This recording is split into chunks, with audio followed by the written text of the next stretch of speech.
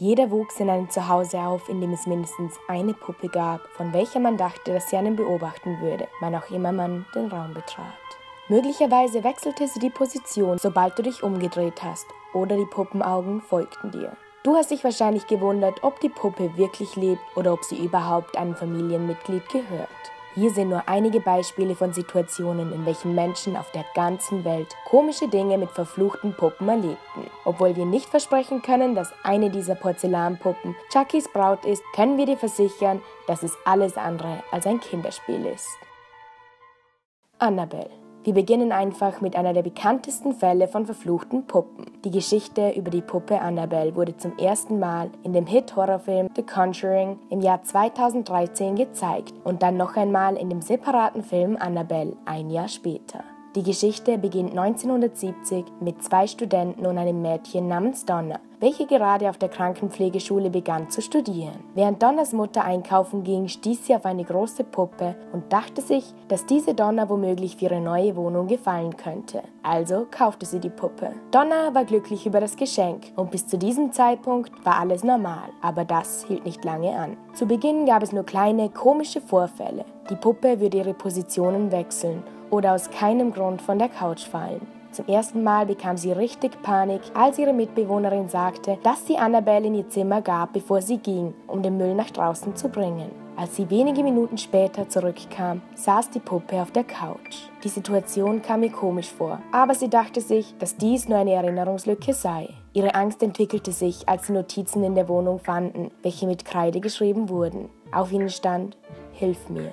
Als die Mädchen die Wohnung gemeinsam verließen und wieder nach Hause kamen, fanden sie einen Zettel mit Vermisst ihr mich? darauf geschrieben. Und die Puppe saß auf der Couch mit einer roten Kreide neben ihren Füßen. Sie bekamen Panik und warfen die Puppe in den Müll. Kurz darauf saß die Puppe wieder vor ihnen und starrte sie an. Sie kamen gemeinsam auf den Entschluss, dass die Puppe von einem Kindergeist heimgesucht wird. Gemeinsam beschlossen sie, dass es das Beste für sie ist, wenn sie dies einfach zulassen. Und sie hofften dabei, dass sie somit aufhören würde, sie zu quälen. Dabei lagen sie jedoch falsch. Als sie das gemeinsam beschlossen haben, wurde es um das Zehnfache schlimmer. Einer von Donners Freunden übernachtete eines Tages bei ihnen und er machte eine Bemerkung über die Puppe in gutem Humor. Am nächsten Morgen wachte er mit einem blutigen Shirt und Kratzern auf seiner Brust auf, welche definitiv nicht von einer wilden Nacht in der Kiste kamen. Einige Tage später betrat er das Schlafzimmer alleine und er behauptete, dass er Annabelle am Boden sah und dass sie vor seinen Augen begann zu schweben. In wenigen Momenten bewegte sich die Puppe auf ihn zu und versuchte ihn zu erwürgen. Das war der Auslöser, welcher die Mädchen dazu brachte, Hilfe von dem paranormalen Experten Adam Lorraine Warren, einem Paar, welche bekannterweise das Amityville Horrorhaus untersuchten, zu holen. Das Paar sagte, dass der Geist, welcher sich in der Puppe befinden würde, nicht von einem kleinen Kind stammen würde, sondern von einem Dämon, welcher sich somit Zugang in die physische Welt erschaffen wollte. Es war ihnen nicht möglich, den Dämon loszuwerden, und somit sperrten sie die Puppe in ein Museum, sodass dieser nicht noch weitere Menschen auf der Welt quält. Juliet. Ein Fluch, welcher von Generation zu Generation weitergegeben wird, wie ein Kahlkopf unter den Männern der Familie, nur ein wenig düsterer. Die Geschichte von Juliet der Puppe stellt dir sicher die Haare am Nacken auf. Es gibt eine Familie, welche unter einem Fluch seit vier Generationen steht. Dabei handelt es sich um einen Fluch, welcher das männliche Kind der Familie innerhalb von drei Tagen nach dessen Geburt tötet. Der Fluch begann, als eine schwangere Frau eine Puppe von einem eifersüchtigen und rachsüchtigen Bekannten geschenkt bekam. Es wurde gesagt, dass die Frau Zwillinge bekommen sollte, ein Junge und ein Mädchen. Die beiden waren gesund, aber eines Morgens wachte die Mutter auf und fand den Jungen steif und leblos in seinem Kinderbett auf. Ärzte konnten keine Todesursache feststellen, also wurde es auf SIDS, Sudden Infant Death Syndrome, geschoben, welcher durch Gehirnanomalien ausgelöst wird. Die traurige Mutter machte weiter, wie es eine Mutter nun mal tut, aber sie begann beunruhigendes Lachen eines körperlosen Kindes zu hören, als sie ihr verbliebenes Kind in den Armen hielt. Sie suchte das Haus nach dem Geräusch ab. Als sie in den Raum ging, aus welchem die Geräusche kamen, sah sie die Puppe Juliet in einem Stuhl schaukeln, ganz von selbst. Und sie kicherte dabei. Sie wusste nicht, was sie denken sollte, aber andere sagten ihr, dass sie nur fertig sei, weil sie kürzlich ihr eigenes Kind verloren hatte. Sie glaubte ihren Freunden und ihrer Familie und machte weiter, bis sie bemerkte, dass das Lachen nicht aufhörte und sie zusätzlich noch Schreie eines Babys hörte, obwohl ihre Tochter tief schlief. In großer Sorge kontaktierte sie den Priester, welcher ihr sagte, dass sie nur verletzt sei und mit ihrem Leben weitermachen sollte. Niemand glaubte die Geschichte der Mutter über eine gackernde Puppe. Dann versuchte sie die Puppe einfach loszuwerden, aber diese kam immer wieder zurück und das Lachen wurde lauter und lauter. Sie hatte Angst, ihren Verstand zu verlieren, bis ihre Tochter eines Tages alt genug war, um die Geräusche wahrzunehmen, und sie fragte ihre Mutter, warum lacht Juliet? Zu diesem Zeitpunkt bestätigten sich ihre Ängste. Nach einer langen Zeit starb die Mutter und ihre Tochter gründete eine eigene Familie. Wie ihre Mutter bekam sie Zwillinge, einen Jungen und ein Mädchen. Wieder einmal starb der Junge am dritten Tag und die Puppe machte weiter mit ihren Kichereien, aber dieses Mal in einer anderen Tonhöhe und manchmal hörte man auch zwei Stimmen. Dieser Teufelskreis hielt noch für weitere zwei Generationen an, bis zum heutigen Tage. Der momentane Nachkommen und Puppeninhaber hat Babysitter, welche das körperlose Lachen im Haus bereits hörten, während sie auf das Mädchen aufpassten. Niemand weiß, ob der Fluch je enden wird und niemand weiß, wie dieser gestoppt werden kann. Okiku. Es wird gesagt, dass es gleich nach dem Ersten Weltkrieg ein junges Mädchen namens Okiku gab, welche in einer japanischen Stadt lebte. Der 17-jährige Bruder des zweijährigen Mädchens kaufte Okiku eine Puppe als Souvenir, während er eine Marineausstellung in der Stadt besichtigte. Die Puppe hatte kurzes, schwarzes Haar, war in aufwendiger Kleidung gekleidet und hatte unschuldige schwarze Augen. Die Schwester liebte die Puppe und sie spielte damit so oft sie nur konnte, bis sie an einer Erkältung starb. Die Eltern beschlossen, dass sie die Puppe im Haus behalten würden, als Erinnerung an ihre Tochter.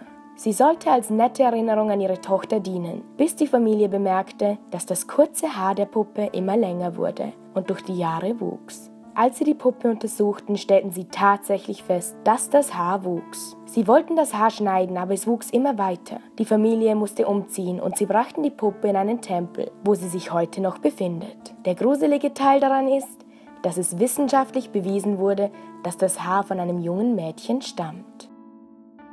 Robert die Puppe. Eine der bekanntesten Puppen in der Geschichte von besessenen Puppen ist Robert die Puppe.